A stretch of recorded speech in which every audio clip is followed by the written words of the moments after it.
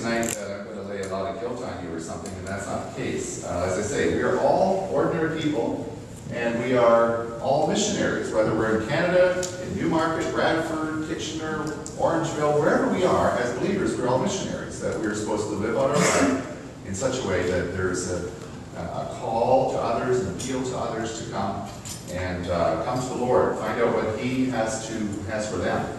And uh, as I show you this tonight, uh, we're going to take a little bit of time with this short passage, and then I will show you uh, a number of pictures in our presentation. But we'll be done about quarter after or 20 after, so that we can have time for fellowship. You may have time that you want to ask us some questions after, more particular questions. And also, Carol has some uh, Korean ginseng candies here tonight that she'll be happy to hand out after. And uh, we always give this warning. You know, the first taste is like kind of like dirt. It tastes like you pulled a carrot out of the dirt.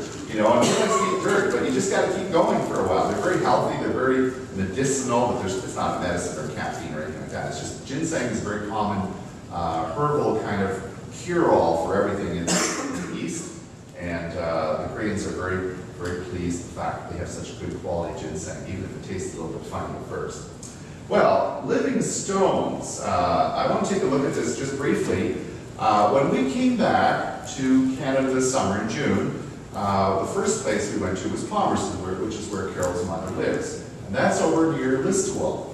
We also went to Listowel because Carol was born in Listowel, and there's an interesting stone in the cemetery, in the Fairview Cemetery there in Listowel. There's the gravestone of a Livingston, one of the Livingstons. So you might say, well, which Livingston? Well, it's John Livingston, the brother of David Livingstone. The brother of David Livingstone, John Livingston Sr., uh, was born in Scotland with David, but he came to Canada, and he passed away in 1899 in Listowel. And there are a couple of the other relatives in the family there as well. So, uh, as a young man, he was challenged. As a young man, they said, would you like to be a missionary like your brother, David? He said, well, no, not really. He wanted to go to Canada and make a name for himself. And on his tombstone, all it says is, you know, John Livingston Sr., born down Tyre, Scotland, and so forth, died in this Listowel, and on the tombstone it says he's a, he's a brother of David Livingstone. So that's how he made a name for himself, by being the brother of David Livingstone.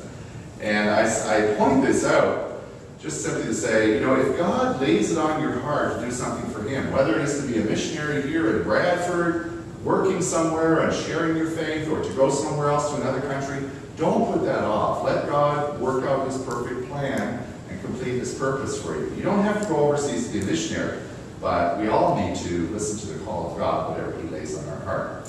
So anyway, that was the Livingston, John Livingston, and then when we got back to Palmerston, uh, we said to Carol's brother, who's a builder, we said, you know, this summer, let's make it a little family project to finish the sidewalks along Grandma's uh, driveway there in Palmerston.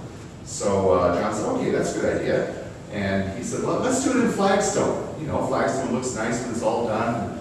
And uh, said, okay, sure, whatever. He knew what he was doing, we, we were going to help him. So as it turned out, uh, we found out that doing a flagstone sidewalk is a lot of work. And it's very tricky because, you know, they're all different shapes and sizes, different thicknesses, and you, you basically get this big load of flat stone that you then got to look at and start laying down and thinking, well, okay, maybe this one will go here, and that one will go there. And you don't want to do a lot of cutting and chipping because it's very hard to do that. You waste more, it's expensive. So you really want to lay them out as best you can at first.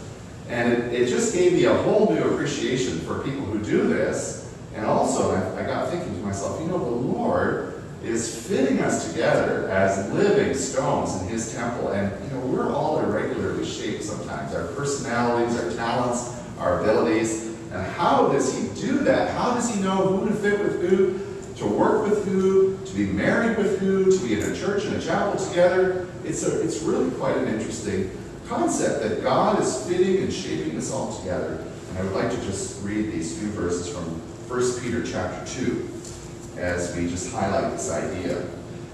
It says here, as you come to him, verse 4 of 1 Peter chapter 2, it says, As you come to him, the living stone, rejected by man, but chosen by God, and precious to him, you also, like living stones, are being built into a spiritual house to be a holy priesthood, offering spiritual sacrifices acceptable to God through Jesus Christ. For in Scripture it says, See, I lay a stone in Zion, a chosen and precious cornerstone, and the one who trusts in him will never be put to shame. Now, to you who believe, the stone is precious, but to those who do not believe, the stone the builders rejected has become the capstone, and a stone that causes men to stumble, and a rock that makes them fall. They stumble because they disobey the message, which is also what they were destined for. But you are a chosen people, a royal priesthood, a holy nation, a people belonging to God, that you may declare the praises of him who called you out of darkness into his wonderful light. Once you were not a people, but now you are the people of God. Once you had not received mercy, but now you have received mercy.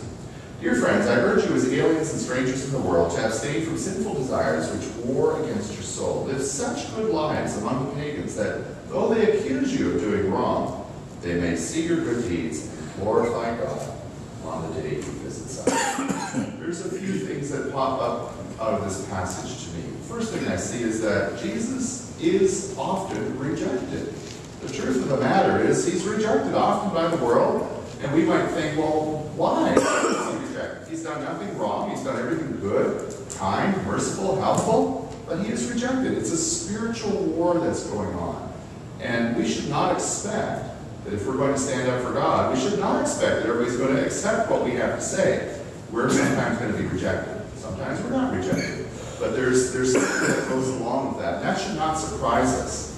The rejection of Christ does not stop Jesus from building that incredible, beautiful temple. He's going to continue to build it. He's going to add piece after piece, stone after stone. But sometimes we're going to find it's hard going, and we are going to reject it.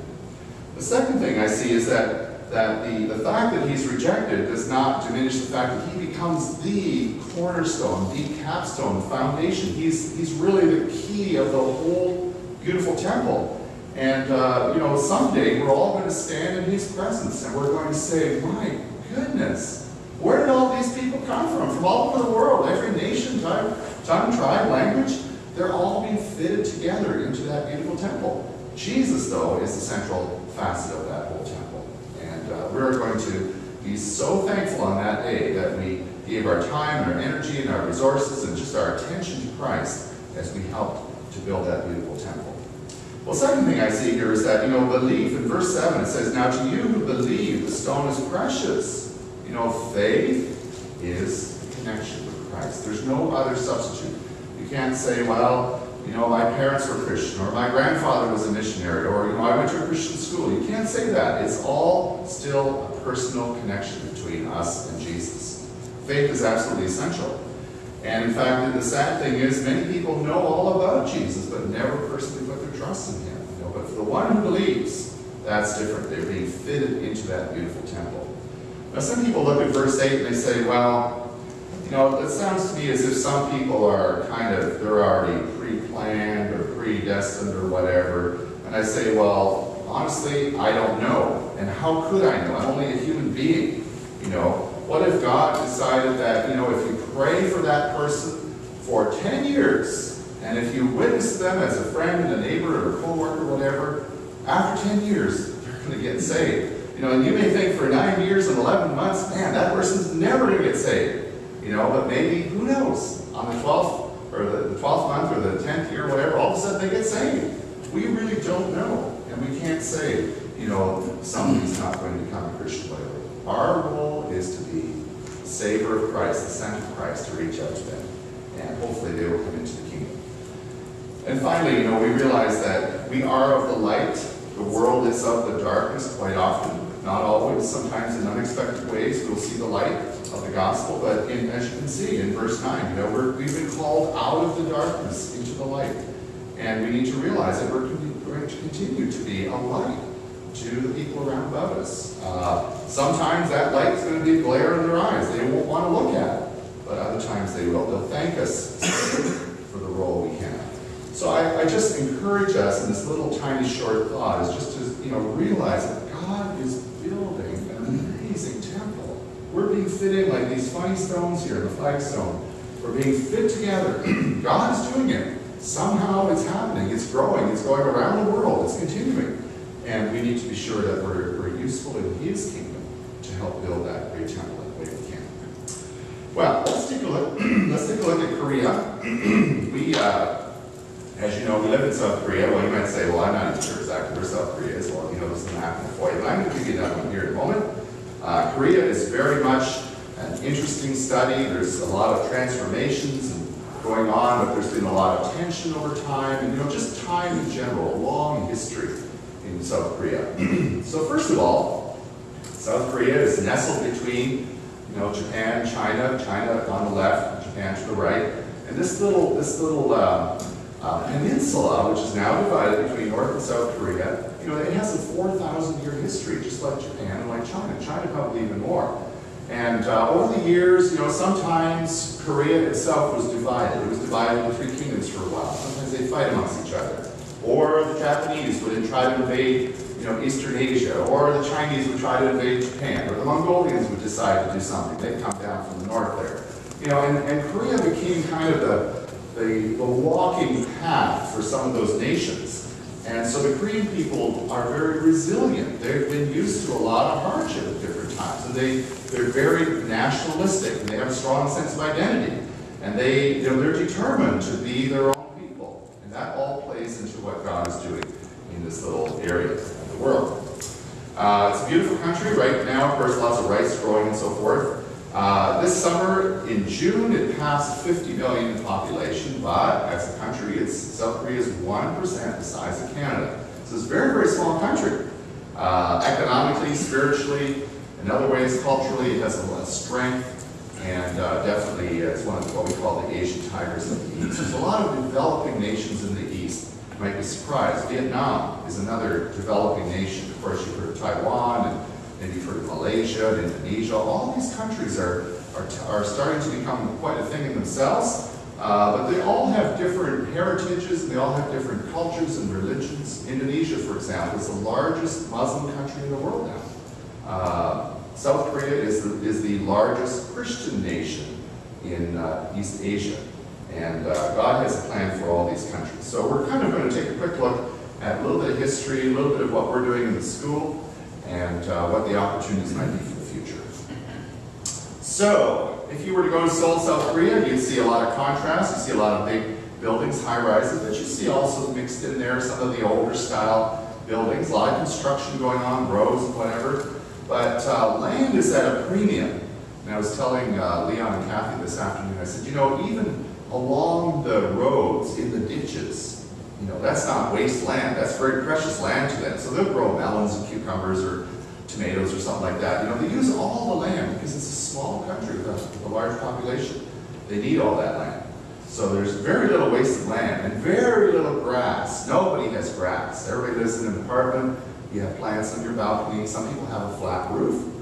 so they put, you know, trees, plants on the flat roof, go upstairs and sit down in their little garden up on the rooftop. But um, for the vast majority, no lawn, just an apartment, you know, flowers, parking lot, all the rest. Over the years, as I mentioned, there's all these different kingdoms, so there's, uh, there's quite a lot of heritage and palaces and, and city gates and things like that you can see throughout the city.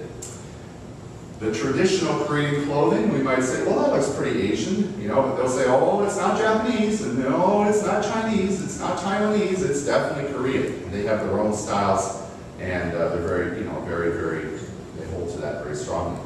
Uh, somebody asked me about the flag. What does the flag mean? Because uh, the flag has that funny symbol in the center, it has these little bars, and that, that was all from an old Eastern religion called Taoism.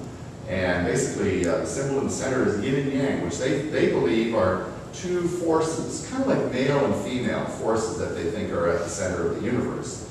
And then the other symbols stand for earth, wind, water, fire, and so forth. But that's an older, older identity of Korea. In the modern era, there's been tremendous growth of Christianity. So we'll get into that in a few moments. If you like uh, delicate pottery or Asian style pottery, the, uh, that pot there on the right is a porcelain that then has every one of those little holes is cut out. So that's a very, very fragile piece of porcelain. It was all kind of ornate and a lot of finesse. And they like to do things that way. They like to put a lot of time into some really delicate, fragile thing and just make it so. And it's part of that Asian finesse.